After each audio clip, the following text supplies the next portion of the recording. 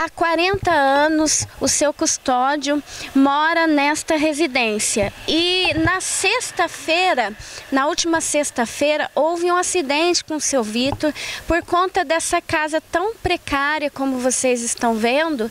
Caiu um muro sobre o seu Vitor, ele que ficou em estado grave, estava na UTI, né, e teve que fazer uma cirurgia na perna.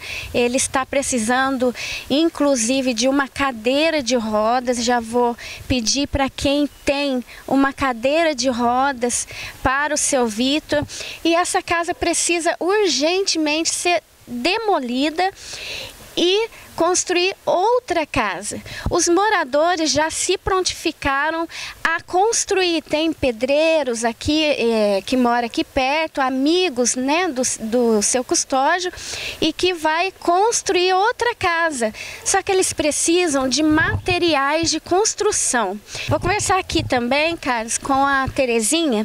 Ela que está cuidando do seu Vitor. Ele que estava na UTI, né? E é, por conta de não ter leitos no hospital, ele veio direto da UTI para casa da Terezinha, que disponibilizou aí cuidar do seu Vitor, né? Do seu custódio, como é chamado, né, Terezinha? Sim, é o que ele gosta, a gente chama ele de seu custódio, o nome dele é seu Vitor. Então, eu tô com ele desde sexta-feira, né? Nossa correria com ele no hospital. Aí ele fez cirurgia antes de ontem, foi falta de leito, ele teve que ter alta do UTI direto para casa. Aí ontem eu fui e trouxe ele para casa, ele está comigo.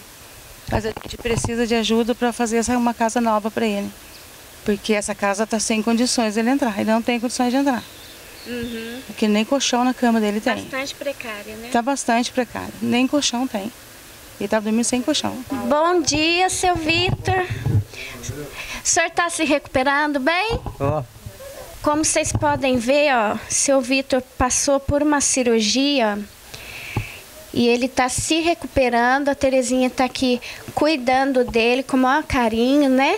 E, Terezinha, você, é, você que vai receber as doações, né? Isso. Eu estou responsável por ele desde o acidente. Uhum. Então, o que eu vou receber as doações vai vir para casa, depois a gente vai levar para lá. Vai para casa dele.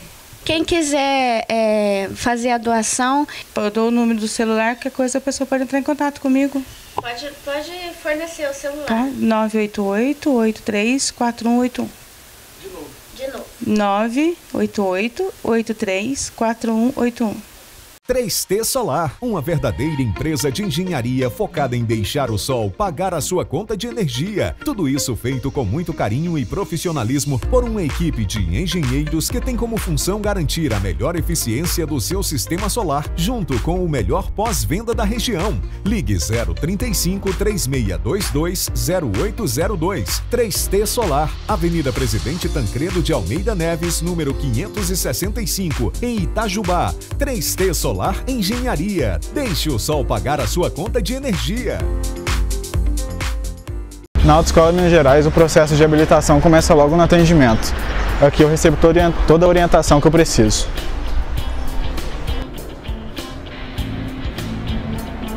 Aqui na Autoescola Minas Gerais, eu saio da aula teórica preparada para a prova. Com os melhores instrutores aqui na Autoescola Minas Gerais, eu me sinto preparada para fazer meu exame prático. Autoescola Minas Gerais, onde o seu sonho se torna realidade. Rua Coronel Joaquim Francisco, 71, em Itajubá. Eu realizei o meu sonho. Venha você realizar o seu também. Autoescola Minas Gerais, onde o seu sonho se torna realidade.